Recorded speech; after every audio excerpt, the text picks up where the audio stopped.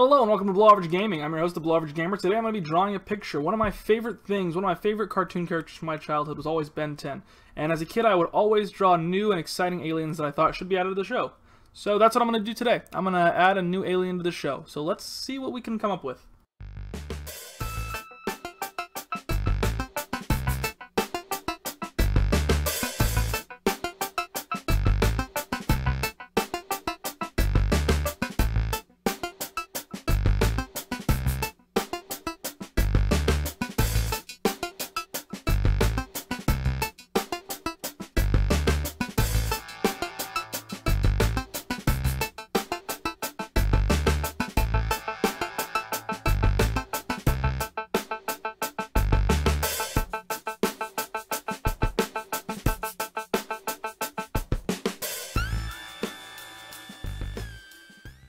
Okay, so there's the groundwork of the character. I think I'm going to call him Patchwork based off of a different character that I've drawn before.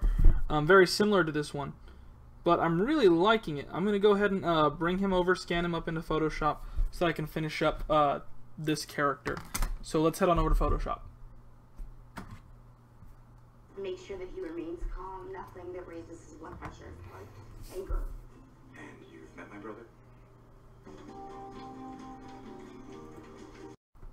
Okay, so here's my character patchwork in Photoshop.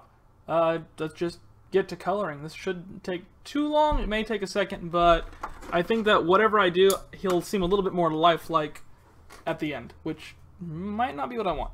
So we'll see.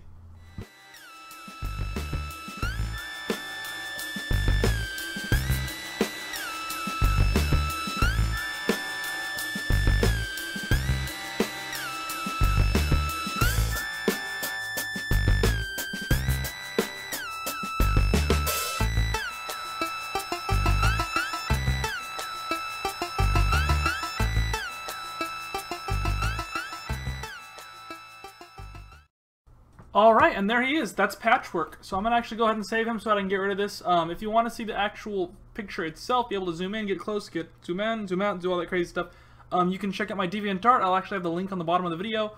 Uh, should be appearing right now. Um, if not, again, it'll be below near the comment section. But yeah, thank you for watching. I appreciate you coming to check out the channel. Let me know what you think about uh, this type of video. I know I normally do video game stuff. I used to do a lot of drawing stuff, and I'm trying to get back into it. So let me know, is this something that I should keep to myself, or is this something that you'd like to see more of on the channel? Again, you can see more of my drawings at my DeviantArt listed below. Have a great day, and uh, I love you. Shouldn't have said I love you. That was